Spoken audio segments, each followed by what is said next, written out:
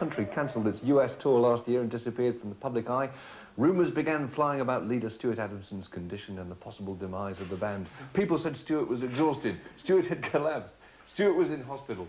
When, where do these rumours actually spring from, Stuart? I mean, is there any truth in this? No, what happened was I retired to Transylvania for a few months and took up a vampirish existence. I had your blood changed several times. Yeah, that, all that sort of stuff, you know.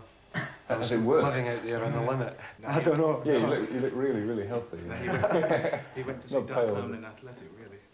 I was worried about the band losing its freshness and just reiterating on, on things we had done in the past for the sake of carrying on some form of vain success, which is something I've never really wanted to do.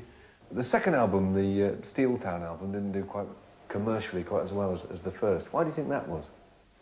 It's too wild. I think it's a very dense album. It's very hard to listen to.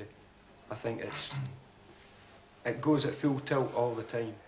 I've got a little quote here from an American magazine which describes Big Country thus. Guitars that sound like bagpipes, apocalyptic images of fire and brimstone, folky ballads about war-torn lovers, murky rockers about mysterious signs on mountaintops. It goes on to say one album of this Scots combo's trad-inspired rock was plenty. Did, what, what other reactions did you want to provoke in people? If they can, you know, pick up on certain emotions and that through being at the gigs and just like having a good time when they come to our gigs as well, you know. Tony, what do you, what do you think the, the appeal of, of, of Big Country is? abroad, particularly. I always get the feeling that you're exporting a kind of Scottishness which people seem to identify with somehow. I don't know, I prefer to think... you see the Not Scottish I, pick, I picked stereotype. oh, Scottish here. Oh. I, I just prefer people to see us as a, good songwriting band and, and who play our music in a, you know, very well. You know, that's that's my basis for being in this group anyway, because I'm very old-fashioned in my approach to music. I love good songs, and that's what Big Country play, great songs. And I hope that the public, especially in America, appreciate that fact.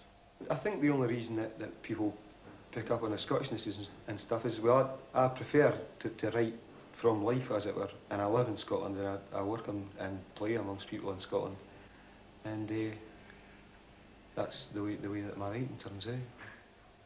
I think there is an, an excitement in the music that doesn't come from, from one individual's input. I think it comes from the uh, what we generate between the four of us playing together. And I think that excitement carries over through records and through gigs, and people can feel it. People can feel that the, the excitement comes from us. The problem you've got with the third album is that you've got to sound still sufficiently like Big Country, but also sufficiently different. yeah, I, I think. See, uh, that's yeah, that's how a critic would look at, look at it. If a critic was making an album, he'd think, oh, they've got to do this and they've got to do that. Whereas when you're actually in the band and you're making the music and writing the songs, all you do is write the songs as you feel them at the moment. You can't sort of turn on and turn off mm. the inspiration as it comes on. It's not like that. It's not like going to the kitchen and doing that. Kate Bush is on the album too, I believe. So, so how did you come to choose her? I think Kate Bush's vocal style is absolutely magnificent. I mean, I've been mm. an admirer of her since first album days, right through all the stuff. And uh, thought that her, her sound would suit it because she can do a, that sort of folky, folky voice as, as well as very operatic style yeah. singing it. Do you think it's in a healthy state, British pop music? Tell that truth. I don't know. I mean, you can tell we, we've got very sort of varied ideas of you know, we all like different things. And I, I, I can like a real corny, awful pop song. You know, some of the Bucks Fizz records were sort of brilliant. we get slagged here, but they were. They wrote good pop songs.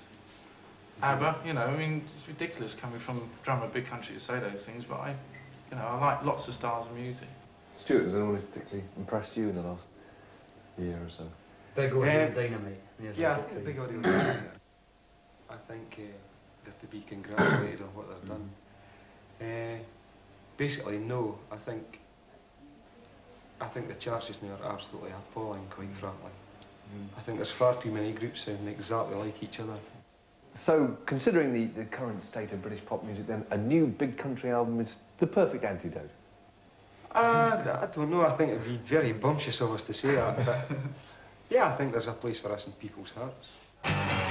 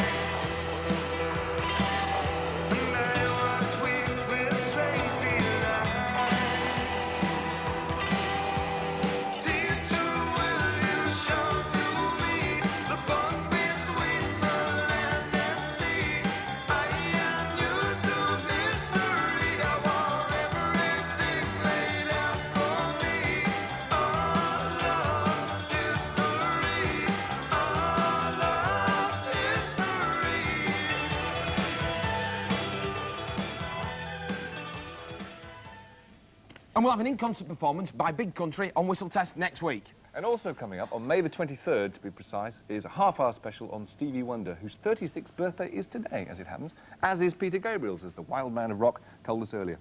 Now, earlier on in the programme, we offered you ELO, Robert Palmer, Hipsway and AC/DC videos, and in a second you shall find out which way the nation voted. Any moment now. Coming up.